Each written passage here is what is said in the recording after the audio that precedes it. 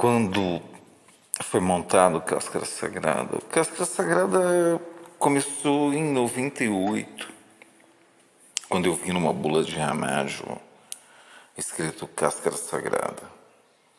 Aí esse começou o projeto, porque a hora que eu vi o nome, falei, pô, é o nome de uma banda.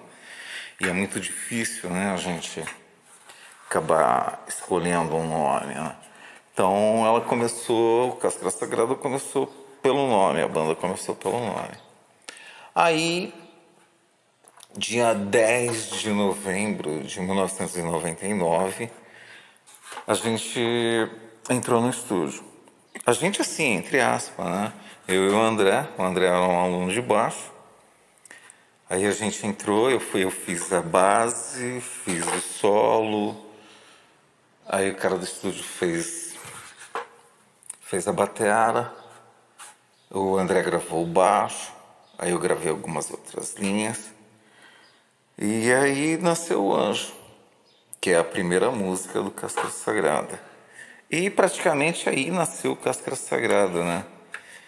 É, apesar de eu ter pego o nome em 98, mas eu comecei a montar o projeto só em 99, né? Que aí quando eu escrevi O Anjo, e aí depois eu musiquei e a gente entrou dentro do estúdio. Então eu ponho a data mesmo, né? A do nome foi 98, mas o início da banda mesmo 99, 10 de novembro de 1999.